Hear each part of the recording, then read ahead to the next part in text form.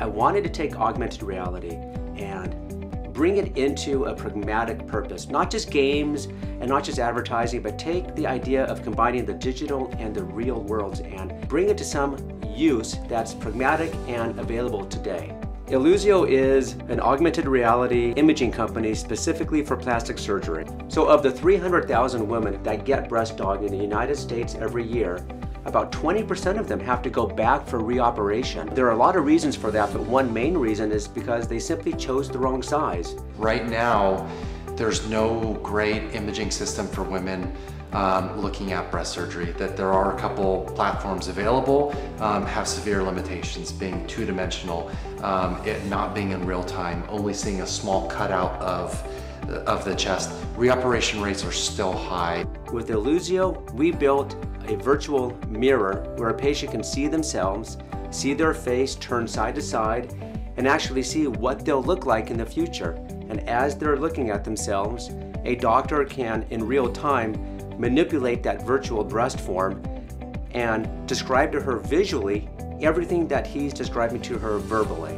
I can show women what the difference looks like on her body and that we really can get something that gives them the shape and the look and the proportion that they want that makes them look natural and balanced and that fits to the rest of their body. I was just in awe. I didn't know that technology like this existed and you know, in a day and age where everyone's looking for immediate gratification, it gives you that. And this is a great way to visually get on the same page with your surgeon about what you're trying to accomplish.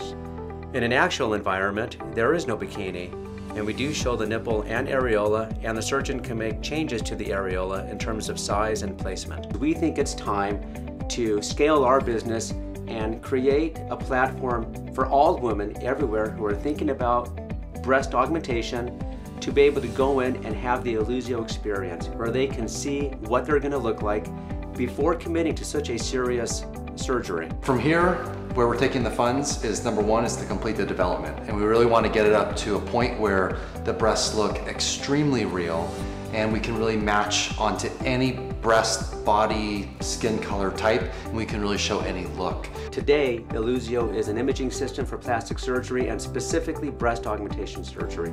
The next phase of the company, which comes in 2017, we want to start attacking other body parts, other procedures for plastic surgery. From breast, we're going to expand onto tummy and the rest of body contouring. We'll be able to show tummy tuck, liposuction, Brazilian butt lift. We'll go onto the face, we can show facelift, nose surgery, rhinoplasty. We can do virtual real-time x-rays where a patient can see themselves with a broken bone and a doctor can show the patient in, you know in, in projection time how they want to mend that bone. We could have virtual remote MRIs and x-rays where you don't even have to be in the same room as a doctor. I think all of these are, are um, you know, in the possibilities of where augmented reality can take us.